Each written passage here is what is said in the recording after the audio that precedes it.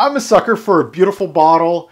And with a simplistic name like Lemon and a beautiful, gorgeous bottle like that, let's go!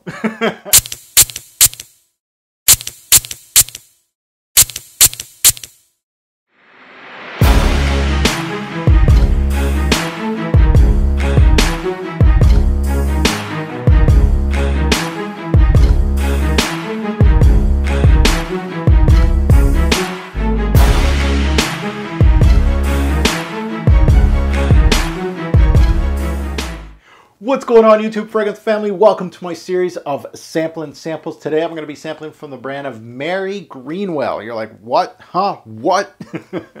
me too. the bottle sold me. I, I, saw the bottle and I was like, it's nice. Um, 2013 release and the fragrance is simply called Lemon. So my thoughts are, you give me a simplistic lemon that's very authentic, sold because the bottle's gorgeous. So the big notes in this particular fragrance, lemon, lime, and jasmine. Not bad. Good combo there. My thoughts when testing this fragrance, middle of the road citrus is what came came to mind here. Nope, you're, you're not selling me. Off the bat, it has some potential. Um, it felt really juicy and authentic, but at other times when wearing this fragrance, and I got two to three samples out of this, it felt that there was too many citrus notes here. It was too citric. Um, and it felt like they were battling each other.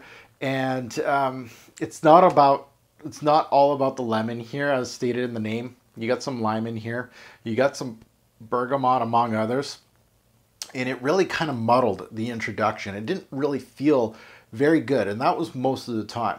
Um, Jasmine backs this fragrance. That is your big floral. There's a lot of florals in here. There's Lily of the Valley too, but there's many other florals here, and they took over the citrus. Like they ate it up real quick and pushes it to the backdrop of the scent, kind of making it a redundant fragrance as a citric fragrance. More of a floral fragrance, to be quite honest with you. You get a bit, a bit of woods here, more into the dry down, and more oak moss to finish this one off. Sadly, love the bottle Love the idea, you know, simplistic lemon, and was hoping for more.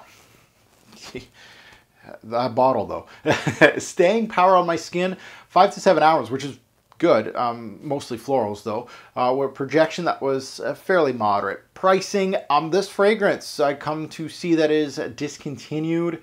Um, they had 1.7 ounce bottles and they had 3.4 ounce bottles, and it was EDP concentration. So your best bet for this is uh, scour the internet if uh, you had any interest in this one. Overall score from 1 to 10, 10 being the highest.